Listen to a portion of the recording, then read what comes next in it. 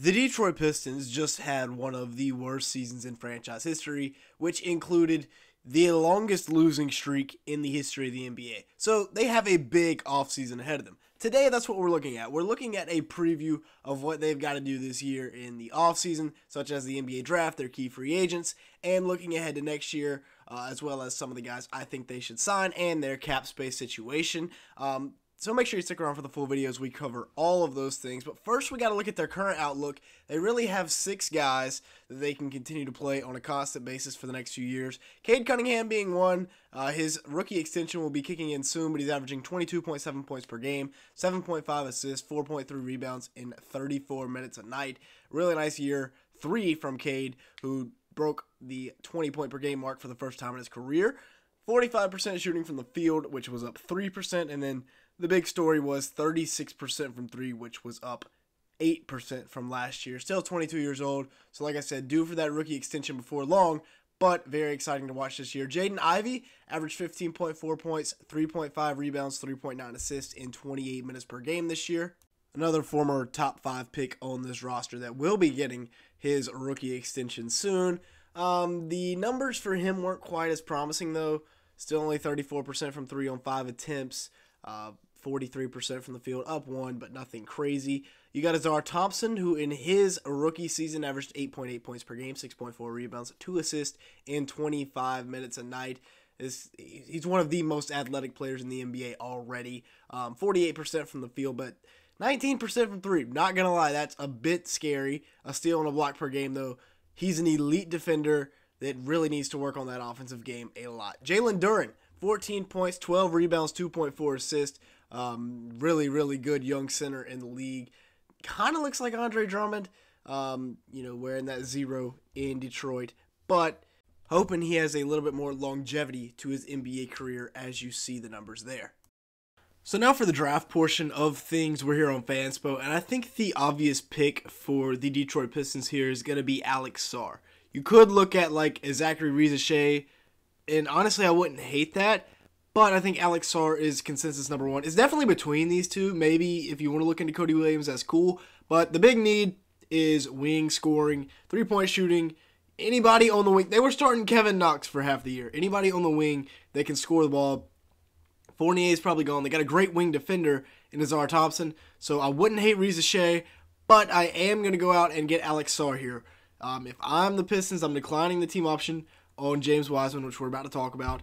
Um, and then you got Isaiah Stewart, Jalen Duren to play the five, and you got Alex Sarr to plug in here at the four. I think he's more of a traditional four. He can shoot the ball a little bit, and I think he will develop into that um, very well here in Detroit. So, with the first overall pick, I will have the Pistons selecting Alex Sarr. Now, they are guaranteed a top five pick, so if they don't get number one, I think they target Risacher or Cody Williams later on down the board. If things get really bad, maybe you trade down and go for a Dalton Knecht or a Ja'Kobe Walter because you just need shooting on the wing. That's the number one weakness for the Pistons this year.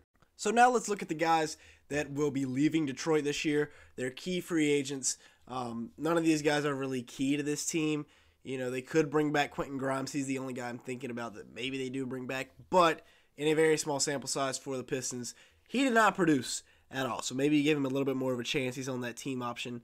Um, Evan Fournier has a $19 million team option, which I'm willing to bet the house on that that gets declined for the 31 year old that had horrible shooting splits in Detroit. And then James Wiseman um, wouldn't be shocked to see his uh, team option get declined as well. You know, maybe they keep him around, but I, you know, not not not too crazy about it. The rookie extensions this year. Cade will be needing one, like we said. Uh, he'll be on the last year of his contract, and then they got a four and a half million dollar team option on Jalen Duren, which will be getting picked up, and then they will be extending him very shortly, unless they are absolutely crazy. Um, now, looking ahead to free agency, looking at some of the free agent targets this year for the Pistons. These are all guys that I've identified, guys that can shoot the three ball and can defend on the wing. Number one, the guy that I really want them to get to pair with Ausar Thompson is Kelly Oubre Jr. Definitely going to be a very sought after free agent this year after putting up 15.4 points per game, 5 rebounds, 1.1 steals on 45% shooting from the field, 31% from 3 for a winning team. We'll see if he can increase his stock, make a little money in the playoffs. Then you got Gary Trent Jr., who had a bit of a down year this year on the stat sheet, but as a free agent, wouldn't be or I would be shocked if the Raps don't bring him back, given what he just put up at age 25.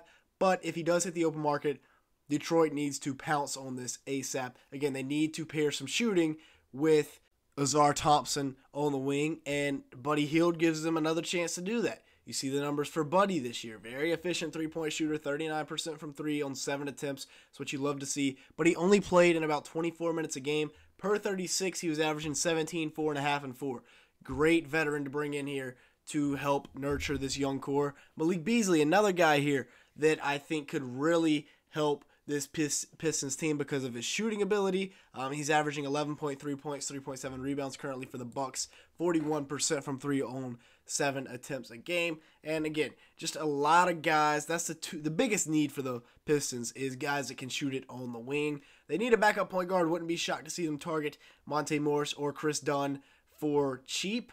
Um, again, Cade Cunningham, the only point guard they have on this roster right now after they let go of the GOAT Killian Hayes. So one of these two guys you could bring in. Um, and then some backup bigs as well.